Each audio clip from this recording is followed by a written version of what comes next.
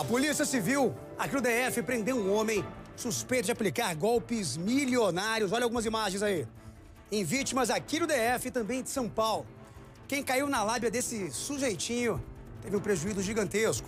Uma perda de até 3 milhões de reais. Vamos ver. Os agentes cumpriram mandados de busca e apreensão em um hotel de luxo na Asa Norte e endereços na capital paulista.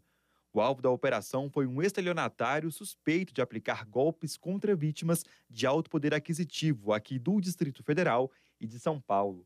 De acordo com a polícia, o suspeito ostentava uma vida de luxo nas redes sociais e se apresentava como dono de fazendas de café.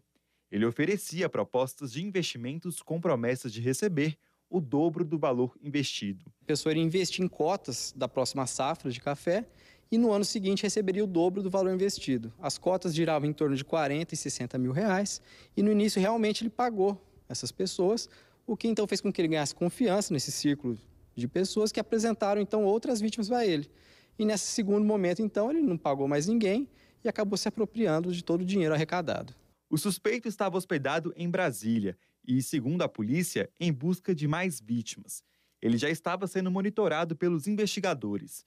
A operação foi feita assim que a justiça concedeu os mandados de busca e apreensão. Ele conseguiu então fazer um grande número de vítimas e causar um prejuízo muito grande que nós ainda não conseguimos calcular, já que nem todas as vítimas ainda registraram ocorrência. Mas a gente acredita que ultrapassa a casa do, dos 2, 3 milhões de reais de prejuízo causado. Nas buscas, os agentes apreenderam um carro avaliado em 500 mil reais, um notebook, dois passaportes para que ele não saia do país e o celular do investigado. O delegado ainda alerta para esse tipo de golpe. O ideal é sempre desconfiar de grandes ganhos, grandes promessas financeiras, né? Que a gente sabe que, que é muito difícil ter um investimento que vai dar 100% em um ano. Então, sempre que chegar alguém com uma conversa dessa, de promessas de vantagens muito grandes, provavelmente vai ser golpe. Então, assim, é melhor sempre não arriscar e não tentar ficar ganhar um dinheiro muito fácil, né? Que é o que a gente fala. Que o estelionatário sempre joga, né? Com a, normalmente com a ganância ali da pessoa. A pessoa fala, nossa, que grande oportunidade, vou investir. E é aí que ele age, então, e acaba enganando as pessoas.